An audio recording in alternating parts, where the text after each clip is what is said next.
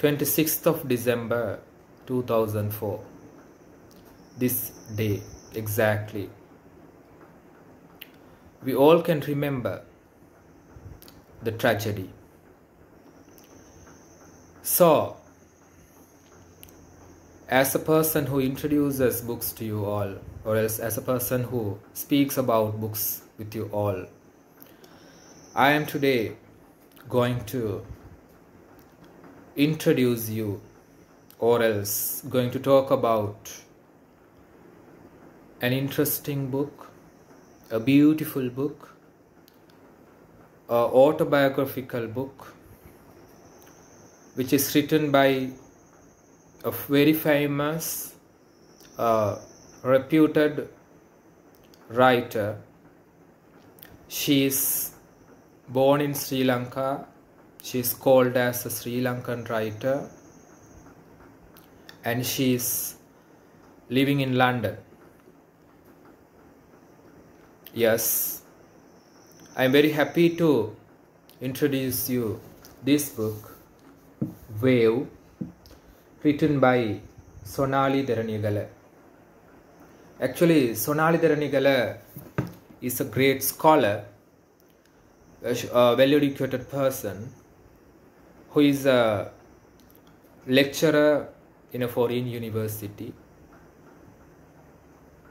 And she's talking about her real life story in this wonderful piece of art.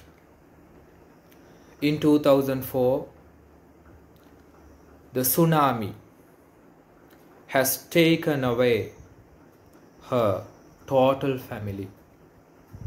She has lost her own father, mother, her beloved husband, and children.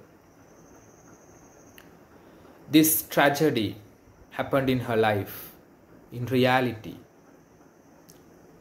As a person who sees this lively, as a person who sees this or else uh, faces this as a first hand experience, she becomes unbearable.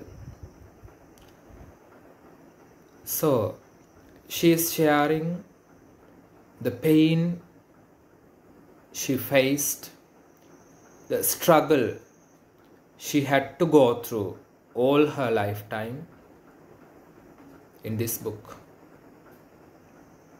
I recommend you all to read this book. This book actually was published in 2014, sorry, 2013,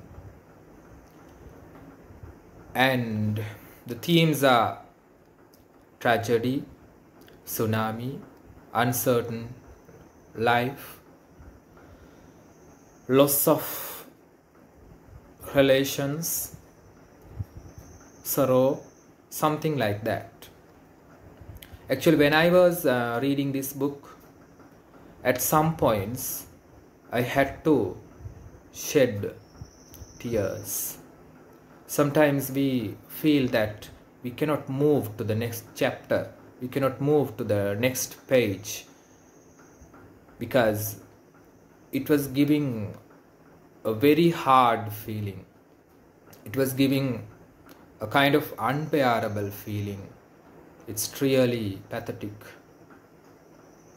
So, as a person who loves human beings, as a person who respects humans' feelings, as a person who is sensitive towards all the living beings, I really feel so sorry about Sonali Deraniyagala